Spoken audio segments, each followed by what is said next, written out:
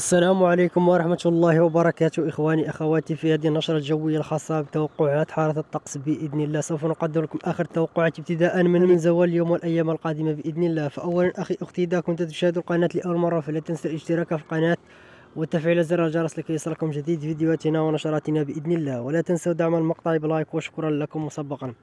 فيتوقع بإذن الله بعد زوال اليوم أن تكون أجواء صافية إلى قليل تسبب ما تقدم أمطار الخير. سوف نقدم لكم مناطق المعنية إن شاء الله. بالنسبة ليوم الثلاثاء فيتوقع أن تكون بعض التساقطات المطرية على تطوان وأصيلة والعراء الشفشان واللام سيدي علال التازي أما بالنسبة ليوم الأربعاء فيتوقع بإذن الله استمرار بعض التساقطات المطرية مع تساقطات ثلجية فوق مرتفعات الأطلس. على المناطق التالية على آه، كذلك إن شاء الله أمطار حاضرة على مرتفعات الأطلس وكذلك سكون داز وإفران ومكناس الخميسات فاس وتهلا وبإذن الله والماس وخنيفرة وزم وخريب ربما القارة وسطات وكذلك. سيدي بوعثمان وأمطار ضعيفة نسبيا. كذلك أما في أقصى شمال المملكة بالنسبة لي يوم الخميس فستكون أجواء نسبيا ممطرة بإذن الله.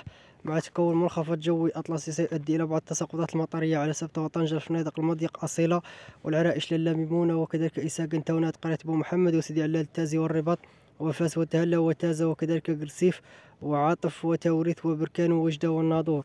بالنسبة كذلك لمرتفعات الريف ستكون بعض التساقطات المطر بالنسبة للفترة المسائية فيتوقع بإذن الله استمرار أمطار الخير على الجهة الشرقية على وجدة والناظور وتازة أمطار نسبيا متفرقة مع احتمال تساقطات بعض الثلوج كذلك أمطار حاضرة على الرباط والرماني والمس الخميسات مكناس القارة برشيد دار بيضاء والجديدة وسطات ولاد فرج والوالدية بالنسبة لباقي المناطق الأخرى ستكون أجواء نسبيا صافية إلى قليلة السحب. بالنسبة ليوم الجمعة بإذن الله فيتوقع أن تستقر الأجواء وإلى